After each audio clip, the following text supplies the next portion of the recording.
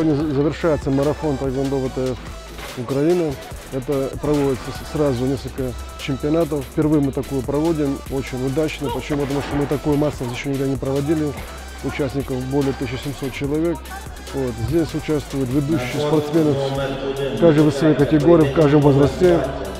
Сборная команда Харьковской области завоевала для всех весовых категорий, во всех возрастах заняла первое место. Также сейчас недавно сборная команда вернулась с чемпионата мира, где также был отбор на Олимпийские игры, где наш спортсмен с Украины, с Харькова взял лицензию на юнацкие Олимпийские игры. Это уже третьи Олимпийские юнацкие игры. Наши спортсмены всегда очень удачно отбираются и удачно выступают на этих турнирах.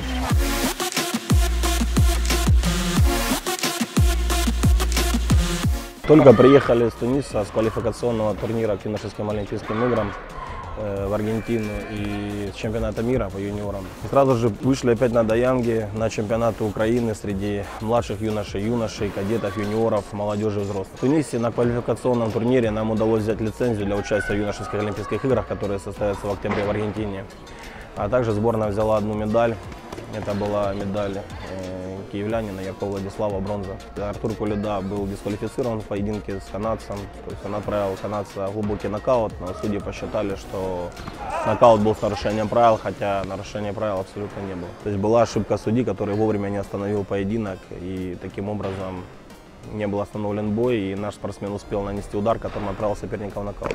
Радует тот факт, что на квалификации мы взяли серебро, и таким образом с победителем мы расходимся на юношеских Олимпийских играх до финала. И этот соперник, иранец, который на данное время для нас является непроходным, мы с ним будем бороться только за золото уже в финале на Олимпиаде. И со своей стороны хочу сказать, что мы приложим все усилия для того, чтобы принципиально одержать победу у этого соперника. По поводу моего боя на чемпионате мира. Э, В первом бою я с канадцем был, во втором раунде остается ну, 10-15 секунд э, до конца раунда.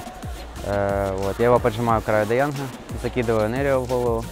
Вот, получается, соперник не, не- ну, то ли падает, то ли не падает, дотрагивается рукой до Даянга, убирает руку с Даянга, и в этот момент прилетает моя нога ему в голову. Вот. В тот момент, как, когда я бил ему в голову, э, я не слышал команды судьи об остановке боя, и поэтому нанес этот удар. Никакого умысла нарушать правила у меня не было, я просто все делал для победы.